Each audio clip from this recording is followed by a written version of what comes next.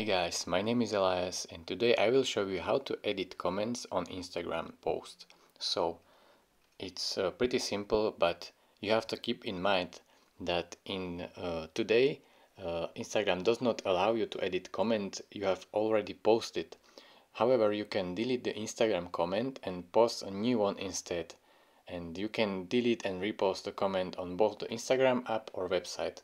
So I'm going to show you how you can do that so for example, let's say I, I have commented on this one, so I will comment fire and uh, this uh, emoji.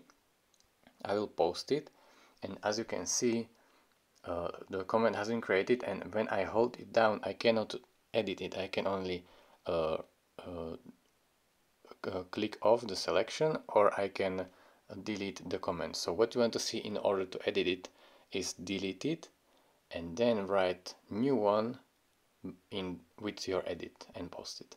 So it's that simple, but you have to keep in mind that you just can't edit the comment uh, when you are posted it, you just can edit it only before posting.